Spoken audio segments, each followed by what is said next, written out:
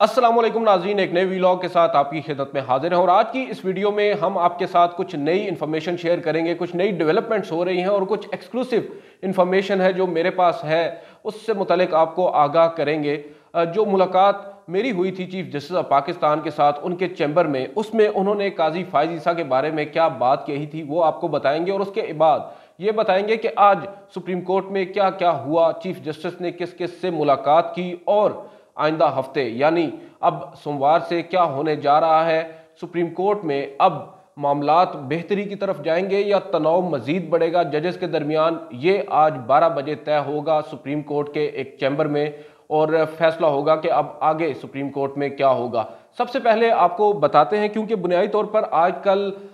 हदफ तनकीद बने हुए हैं चीफ जस्टिस उमर अताब बंदयाल और उनके ऊपर कुछ ऐसी बातें उनके हवाले से मनसूख की जा रही हैं, या फिर अगर यूँ कहें कि उनके किरदार के ऊपर बातें हो रही हैं, और ये कहा जा रहा है कि उनको तो मुस्ताफ़ी हो जाना चाहिए। यहाँ पर आपके साथ कुछ ऐसी बातें शेयर करेंगे। तकरीबन एक डेढ़ साल कबल जब चीफ जस्टिस ऑफ़ पाकिस्तान ने बतौर चीफ जस्टिस हल्फ उठाया तो मैं और मेरे साथ दो और जर्नलिस्ट नासिर इकबाल साहब डांस से और Mohsin Ejaz A R Y से। हम तीनों मुलाकात के लिए उनके चैम्बर में गए जो इब्तदाई तौर पर मुख्तसर मुलाकात थी, मगर बाद में उसका दौरानिया तवील हुआ और तकरीबन पौने दो घंटे तक हम उनके चैम्बर में बैठे, उनसे मुलाकात करते रहे और काफ़ी जो पहलू थे, उन पर बात हुई गुफ्तु हुई और कैंडिड गुफ्तु थी। मगर एक बात तय थी कि जो कुछ भी होगा, जो कुछ भी गुफ्तु होगी, वो ऑफ़ द रिकॉर्ड होगी और एज़ पर चैटम रूल्स हम लोग उनको आपके साथ डिस्क्लोज भी नहीं कर सकते और शायद यही वजह है कि हमने तकरीबन एक डेढ़ साल जो है वो चुप्पी का रोज़ा रखा और अभी तक कोई भी बात उस हवाले से शेयर नहीं की। मगर अब जो हालात बन चुके हैं, चीफ जस्टिस के ऊपर जिस तरह के ज़ाती नोयत के हमले हो रहे हैं, उस तमाम तर पहराए में कुछ ऐसी बातें हैं जो सामने रखना हमारा भी फ़र्ज़ बनता है। जब चीफ जस्टिस ने हल्फ उठाया तो उन्होंने साथी जजेस के बारे में क्या कुछ कहा था और उनका रवैया क्या था, वो हम अंदाज़ा लगा सकते हैं। उस गुफ्तु से जो मैं अब आपके साथ शेयर करूँगा। बुनियादी तौर पर चीफ जस्टिस से जब मुलाकात हुई तो बहुत सारे पहलू जेर बहस आए, मगर सबसे अहम बात जो थी, उन्होंने हमें बताया था कि एक एडिटोरियल उसी रोज़ डॉन अखबार में छपा था। एडिटोरियल बुनियादी तौर पर इदारिया, जो छपा उस इदारिये के अंदर अदलिया के जो किरदार है, अदलिया की जो आज़ादी है, उस पर काफ़ी तफसीली बहस की गई और जो अदलिया का किरदार होना चाहिए, वो भी बताया गया। और जो अदलिया के अंदर खामियाँ थी उस वक्त तकरीबन आज से डेढ़ पौने दो साल पहले उस तमाम तर का हवाला दिया गया जो judicial activism justice Iftikhar Mohammad Chaudhry, फिर जस्टिस साकिब निसार के दौर में वो तमाम तर बातें कही गई और वे फारवर्ड जो है, उसके ऊपर बात हुई। तो चीफ जस्टिस ने कहा कि मुझे वो इदारिया बहुत पसंद आया है और इतना पसंद आया है कि मैंने अपने साथी जजेस को उसकी कापीज़ प्रोवाइड की हैं, उनको भेजी हैं। ये कह कर कि आप लोग भी इसको देखें और अब हमने अपनी सिमत का जो तयन है वो ख़ुद करना है और इस जो एडिटोरियल है, इसको देखकर हम इससे अपनी जो राह है, उसको आगे चुन सकते हैं कि हमने किस जानब जाना है। और बुनियादी तौर पर वहाँ पर एक वो पॉजिटिव पैगाम की बात कर रहे थे कि हमने अब अदलिया में बेहतरी लानी है और साथ ही जजेस को भी वो अपने साथ लेकर चलने की बातें कर रहे थे। तो इसी दौरान मैंने उनसे पूछा कि क्या आपने जस्टिस काजी फायज ईसा को भी ये कॉपी भेजी है एडिटोरियल की? तो जिस पर चीफ जस्टिस ने मुस्कुराते हुए कहा कि नहीं।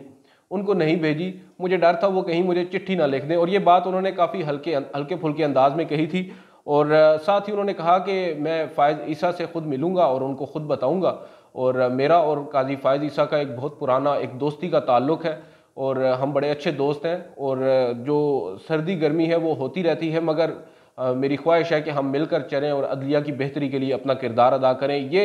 थे जस्टिस उमर अता बंदयाल जब उन्होंने हल्फ लिया और उसके बाद जजेस के साथ उनका रवैया। यहाँ तक कि जस्टिस मकबूल बाकिर, जो कि अपनी अलविदाई तकरीब में काफ़ी सख्त ज़बान इस्तेमाल करके गए थे जस्टिस उमर अता बंदयाल के हवाले से। उनके बारे में भी जस्टिस चीफ जस्टिस ने एक मौके पर कहा, उनकी एक जजमेंट उसकी तारीफ़ की और कहा कि मैंने मकबूल से कहा कि आपने ये जजमेंट बहुत अच्छी लिखी है, मगर उसके बाद जो जस्टिस मकबूल बाकर ने चीफ जस्टिस के साथ किया, वो भी हम सबने देखा। अब इस तमाम तर पहराए को आप अगर मद्देनज़र रखें और आज जो सूरत हाल है, जो चिट्ठी जिसका हवाला चीफ जस्टिस ने तकरीबन डेढ़ पौने दो साल पहले दिया था, अब वो चिट्ठियाँ दोबारा से हमें नज़र आ रही हैं और चीफ जस्टिस ही उसमें हदफ तनकीद है। गुज्त रोज़ उन्होंने एक नया नोट लिखा और उस नए नोट को ना सिर्फ़ अंग्रेज़ी बल्कि उर्दू ज़बान में भी जारी किया गया वेबसाइट पर, मगर कुछ ही देर के बाद, चंद ही लम्हों के बाद चीफ जस्टिस की गालिबा हिदायत पर उस नोट को वहाँ से हटा दिया गया और उसके बाद एक नई डेवलपमेंट ये हुई कि आज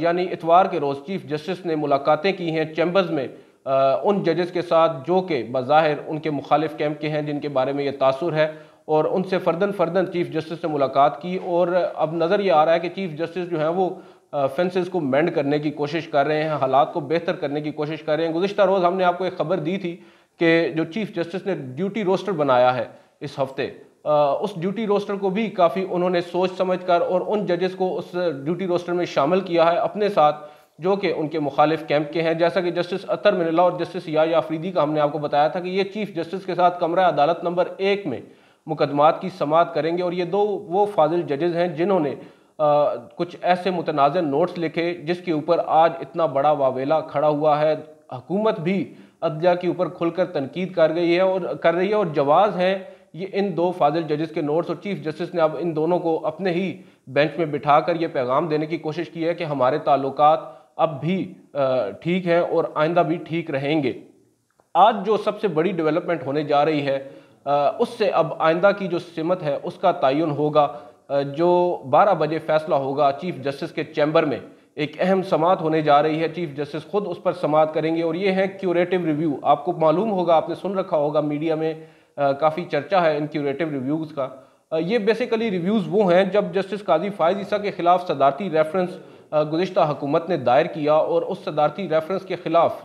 जस्टिस काजी फायज ईसा ने एक आइनी दरख्वास्त सुप्रीम कोर्ट में दायर की और उस आइनी दरख्वास्त पर फिर फुल कोर्ट तश्कील दिया और फुल कोर्ट तश्कील देने के बाद फुल कोर्ट ने एक फ़ैसला सुनाया जिसमें जस्टिस काजी फायज ईसा का जो मामला है वो टैक्स के हवाले से एफ़ बी आर को रेफ़र किया गया। सात तीन से वो फैसला आया, मगर उसके खिलाफ काजी फायज ईसा ने एक रिव्यू पटिशन फ़ाइल की। नज़र षानी दरख्वास्त न सिर्फ़ काजी फायज ईसा, बल्कि पाकिस्तान, बार कौंसल समेत मुख्तलिफ़ फ्रीकैन ने दायर की, और उन नज़र षानी की दरख्वास्तों में वो फैसला जो है वो पलट गया, और फिर जस्टिस काजी फायज ईसा का जो रेफरेंस था वो क्वाश हो गया। जब रेफरेंस क्वाश हो गया, हुकूमत के पास अब कोई रेमेडी बाकी नहीं थी जो नजरसानी दायर करने के बाद, अब उनके पास कोई मुतल फोरम नहीं था, उसके ऊपर बैरिस्टर फ़रोग नसीम ने एक क्यूरेटिव रिव्यू की टर्म इंट्रोड्यूस करवाई और उन्होंने जो नजरसानी दरख्वास्त पर एक और नजरसानी दरख्वास्त जो है वो सुप्रीम कोर्ट में दायर कर दी, काजी फ़ायद ईसा के ख़िलाफ़, जिसकी माजी में कोई रिवायत नहीं मिलती। इस क्यूरेटिव रिव्यू के ऊपर न सिर्फ़ वकला बल्कि जो जजेस हैं, उन्होंने भी कमरा अदालत में बैठ कर काफ़ी सख्त जो है वो तनकीद की और इसी वजह से शायद चीफ जस्टिस ने इन क्यूरेटिव रिव्यूज़ को तकरीबन एक दो साल जो है वो समात के लिए मुकर नहीं किया। मौजूदा हुकूमत ने इकतदार में आते ही ऐलान किया कि हम इसको विड्रा करेंगे, मगर उन्होंने भी नहीं किया। अब जाकर जब जस्टिस काजी फायज ईसा ने चीफ जस्टिस के इख्तियार के ऊपर सवाल उठाया और एक फैसला जारी किया, उस ही रोज़ जो हुकूमत है उसने क्यूरेटिव रिव्यू वापस लेने का ऐलान कर दिया। अब उसके लिए एक बाकायदा दरख्वास्त दायर की गई चीफ जस्टिस के पास सुप्रीम कोर्ट में और अब चीफ जस्टिस ऑफ़ पाकिस्तान ने उस दरख्वास्त को अपने ही चैम्बर में समात के लिए आज 12 बजे के लिए मुकर कर रखा है और आज फैसला होगा कि आइंदा सुप्रीम कोर्ट क्या करने जा रही है, लड़ाई होगी या नहीं होगी, इसका फैसला आज 12 बजे चीफ जस्टिस ऑफ़ पाकिस्तान के चैम्बर से मुतव है। आज की इस वीडियो से इतना ही। इजाज़त दीजिए। अल्लाह हाफिज़।